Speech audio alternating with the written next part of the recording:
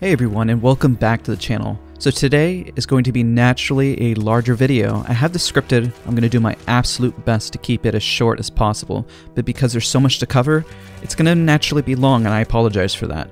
But real quick, don't forget to leave a like, comment, and subscribe, and let's get right into it. So first, let's cover the layout of today's video. I'm going to timestamp it to make it as accessible for you guys and shorten it to the things that are important to you. First, we're going to start with an introduction, and we're going to talk about major milestones that I've hit recently and what inspired this video. We're going to go into a very brief explanation of how we learn from birth, in terms of aiming. We're going to discuss how to obtain high precision. Then we're going to cover really fast tips on high precision, high, and of course versus low accuracy. Then we're going to cover the massive scenario list on KovaaK's and how you can translate this to in-game aim. When I cover the scenarios, I'm going to do my absolute best to do a quick 30 second explanation, show the scenario on screen, talk about the goal, what to learn, and brief tips. So let's just kick it off with an introduction, shall we? So for those who have subscribed to my channel, you know I put countless hours into aim trainers to obtain insane aim and accuracy, and honestly, it still feels like I got a long way to go. Well, yesterday, January 22nd, we achieved a major milestone. We hit Masters on Voltaic benchmarks. This is from the video series I shared in terms of benchmarks and breaking down your aim. I have them all in the description down below, so everything I talk about in this channel, I put into practice in real time. The scenario I hit masters on last was static aim, which surprisingly has become my weakest in terms of my overall accuracy and aim, hence the start of this video. Remember your aim will shift consistently on what you're weak on as you improve in other areas. This is my biggest weakness, which is why I'm making this video on how to obtain overall better accuracy. Believe it or not, this scenario list came recommended from one of you guys in the comment section, and even though I hit Masters Voltaic, this scenario list still kicks me in the butt and is very challenging. Also note this is a playlist that TenZ pushes as well, so shout out and credit to him. I find it crazy how I can target switch track and hit moving targets better than I can hit targets standing still. It's pretty wild, but it makes sense. We all know how all the easiest shots are the hardest. This is how professionals are always whiffing those quick and easy shots. How the small movements can be just more challenging and difficult. The larger swings are naturally easier. Well, I went online and I was searching for an answer on this. Why is this the case? So I came across a lot of websites and I did my own digging, just as you guys are looking for YouTube content online, that when we're born, the first thing we learn to do is move our arms. That's what we're doing, we flail. And then as we get older, that's how we learn to do the refined movement of grabbing things with our fingers. That comes a little later. From birth, we're even trained knowing larger movements are easier to learn first. Thus, the same with our small finger movement for precision. No matter the sensitivity that you run, high or low, you're always going to have to use your fingers in terms of hitting some sort of small micro shot. It's just naturally going to happen. So in this video, we're going to focus on how the easier and static targets, which in turn are going to become everyone's biggest enemy, and how do we refine that for improved aim and high precision. First, how do you obtain high precision? Well, naturally, you're going to need to practice a lot. Practice is important, but please note for anyone in the comments that to obtain insane aim in any game, you need to practice in that specific game. These Exercises in this video explanation are to push you beyond your limits once you plateau in game to avoid making bad mistakes or even to learn to experiment with sensitivities to improve your mouse control. Mouse control is key and over the course of hours and time this is naturally going to translate. But in game, remember, you can have insane aim but have no brain. But in game, mechanics are very vital. Do not forget them. I see even more so they are important to build good game sense. Remember, this process is very slow. Don't get discouraged. And don't be misled by those videos online that state, I got insane aim in a month. They did get some level of aim, but to achieve an aim like no other, it does take time. And of course, some of these individuals sometimes have a history of playing FPS shooters for a very long time. For me to hit masters, just in the Voltaic benchmarks, it took me about a year and a half. I had great aim, especially in sniping, but I needed discipline and to remove bad habits, and I still today have a very long way to go. This video today, I want to be as truthful and honest into giving you a realistic answer and for you to be patient as you continue to grow and improve. An example, you can initially work out and have your body change. But then as you push past your body limits and build muscle, you're going to start to stagnate. You're going to realize that those exercises when you're doing push-ups or sit-ups isn't getting you the net worth and benefits like it did before. That's what these scenarios are built for, and this is as you become more professional in gaming, how you get better. With that, remember to diligently practice. It does not mean you have to put six or seven hours a day, but if you're diligent in your practice and you make sure to spread it out, Even 5, 15, 30 minutes a day can be massively beneficial. Remember, variables matter, and don't be afraid to change them to test things out and stimulate your brain. Here's a quick list of some things that you can change. And of course, if you have more to add, don't forget to put them in the comment section down below. Some quick ones are change your mouse pad, your mouse sensitivity, your mice feet, your sitting position, wireless versus wired, change your mouse, change your grip style, or just your overall in game settings. Now, I want to cover some quick, fast tips to remember as you work on hitting high precision, fast, and accuracy. Overall, just encompassing everything. Number one, relax. To garner speed, you need to relax your muscles. If you tense up too much, you restrict blood flow and will naturally lose speed. You ever seen a gunslinger from a western? He removes the tension, he usually wiggles his fingers to build speed. Just kind of get the blood flowing, but he's relaxing at the same time. You see his hand off to the side relax. You don't see it necessarily just all clenched up.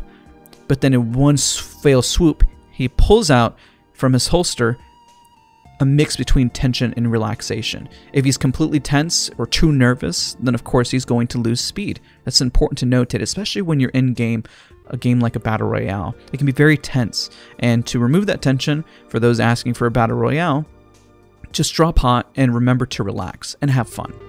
Number two, get into a flow state. This means having hyper focus on your task. I call the flow state when the world around you just disappears, and all that matters is the task at hand. You're calm but also hyper aware. For me, music helps us. For others, I've notated meditation. And some of the biggest ones, especially when you're aiming, is don't forget to breathe. Number three, high sensitivity users. Focus on bouncing between targets and removing that complete stop at a high sensitivity. The issue with a high sensitivity is the acceleration and deacceleration that takes time, and sometimes that can help you lose a monumental amount of time. High sensitivity is obviously going to help you get from point A to point B, but once you're at the in between point of point A and point B, you have to make the smallest movements to hit the target accurately. The issue here for a faster sensitivity is that you, as you create this bounce, you're going to lose accuracy. But remember to keep that bounce and momentum in your aim. So depending on your aim, you need to focus more so on having a less sharp movement and more of a flow. So for low sensitivity users, some quick tips. You have the opposite issue. You need to focus on not getting lazy with your aim and you need to be hyper engaged with your muscles. Acceleration is less of an issue because you're having large, broad movements with your arms, just like we spoke about before, but you need to keep the constant movement. If you find your shoulders, or other muscles are too tense, try to relax them, stretch, which is going to be the next tip, but please be careful and be mindful to avoid too much repetition in those joints and hurting yourself. So when we talk about that, number five, stretching. Don't forget to, in between these exercises, that a lot of time can pass. Even if you do them five times, it's five minutes. They can be a little intense, so remember to get up and move around. In game, you're never gonna have to put this amount of stress because you don't, you're not always in a gunfight right away, correct? So get up, move around, reset mentally and physically. Now let's get into the scenario list. The benefit of watching these scenarios, even if you don't have KovaaK's, is you can utilize it as a basis for your own in aim labs, in a game, or any other way. Don't feel like you're forced to buy KovaaK's. You can even hop into Valorant test range and replicate this by hitting headshots and creating a bounce in momentum. But overall, I hope this help gives you an overall goal and perhaps may enlighten you what you need to improve and work on. You can make a scenario list in KovaaK's by making a playlist and adding how many times you want to play the scenario. Or you can just, you know, look them up on the online scenario by name, and then boom, you're good to go. So let's begin with first up, 5 Sphere Hipfire Extra Small. This one is massive in refining your aim, and the goal is to get used to refining small muscle control. This one is even harder than the Voltaic benchmark of 6 sphere targets because the actual targets are even smaller. But the issue you'll find is how slow you are to get to the target and the amount of time you pause and making the micro adjustment to hit the target. Work on that bounce.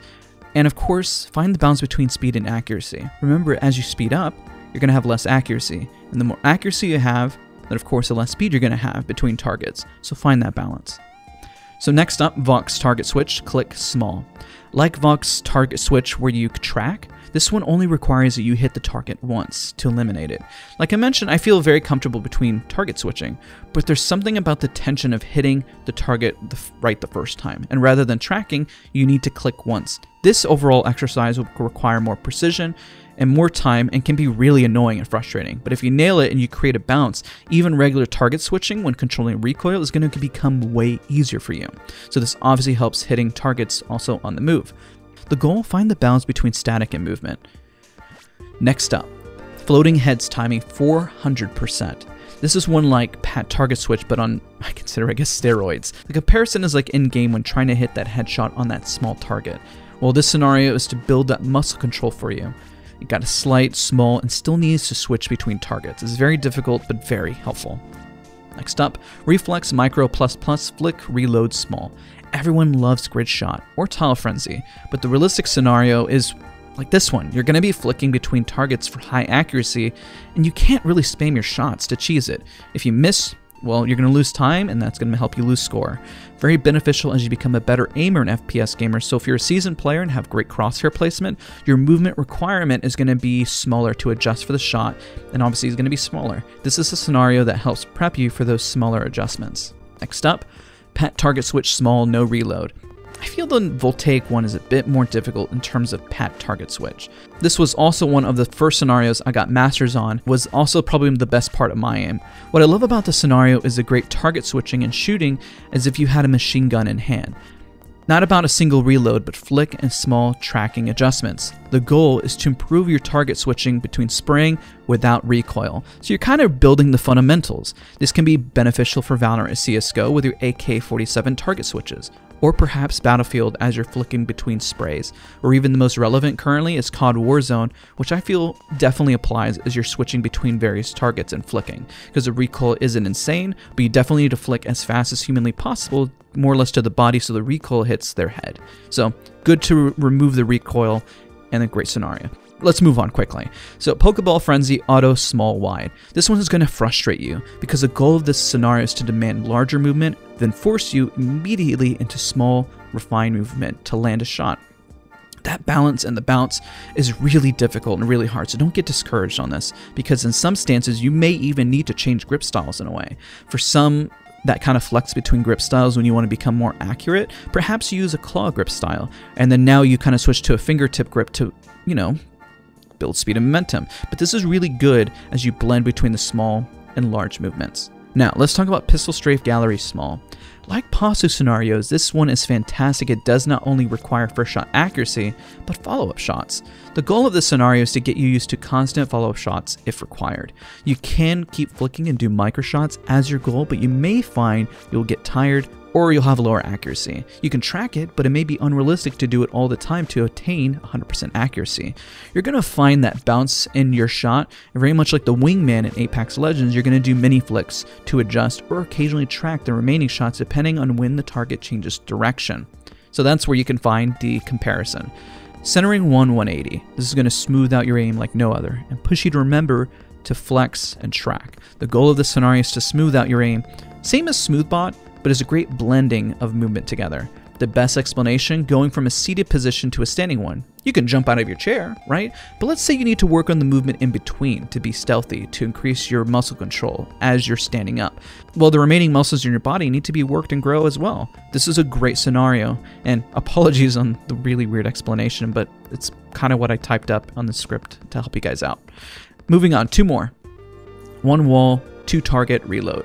We go back and keep it simple on flicking between two targets. The goal here is not getting comfortable on seeing the targets all at one time like we did at the start, but they appear in front of you and you cannot necessarily set up for the immediate shot afterward. You have to react, and there is some distance in between. This helps in most scenarios in game, and you're going to react for the first shot. This is going to help you find that balance. Now, to wrap everything up, Valorant Microshot Speed Small. We take that prior scenario to another level and are reacting to small targets. Reacting to a large target with some distance is relatively easy, but if it's a small target and peers in front, it's very difficult. This will help you with precision and accuracy for headshots, getting comfortable with micro movement. It's a complete opposite of the first scenario that if you saw all the targets at once, and of course if you're watching to the end of the video thus far. Again, these scenarios, as it breaks down different aspects of your aim, you can apply them in-game and practice. Maybe you hit only headshots on target dummies. Maybe you focus on them when they move in the test range and go for quick headshots and find a flow, from bouncing between targets like we've discussed in this video. These scenarios break down to the bare basics and it's up to you to work on the muscles to improve it. Again, if you're watching till the end, I did my best to keep all these explanations brief to the point to be helpful. Thank you guys so much for watching. Don't forget to leave a like, comment, and subscribe, and I'll see you guys all next time.